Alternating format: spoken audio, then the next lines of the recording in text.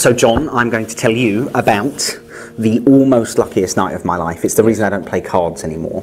Um, any good gambler will tell you it's not so much the winning, it's the thrill of the hazard, just like Erdnase taught us, that really makes it worth doing. Well, this evening, that thrill was pretty big. Um, I was four cards into a game, and I had some interesting players across from me, but we'll talk about more about them in a moment. To begin with, I'd like you to take that deck of cards and shuffle it. You can shuffle it however you want, whichever way you would like. You can even feel free to push it around on the table if you want, vent some childhood anger. That's it. Get really annoyed about not getting that BMX. You knew. I did. Good.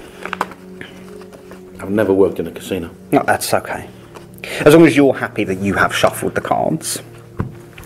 Um, at this point as well, really take a second to, to think about what this means. You have fairly shuffled the deck. If you had shuffled more, the cards wouldn't have ended up in that position. If you had shuffled less, it would have ended up in a different position yet again. I want you, just like you would in a real card game, to cut the cards and complete the cut.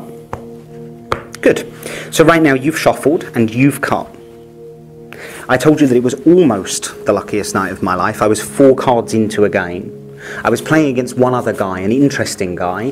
Uh, it was interesting because he, he was well known uh, for his comedy magic, and his name began with a J, uh, and his last name began with an A, and people called him Archini. That was what was interesting about him.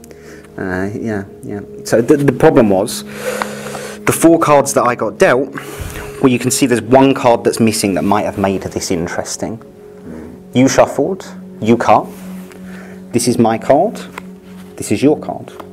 If you had shuffled a little bit more, I wouldn't have got the card that I got. If you had shuffled a little bit less, I wouldn't have got the cards that I got. This is the one that you shuffled. This is the one that you dealt me. Hopefully, your bad luck curse has broken tonight, and it won't just be a case of being almost lucky, but very lucky.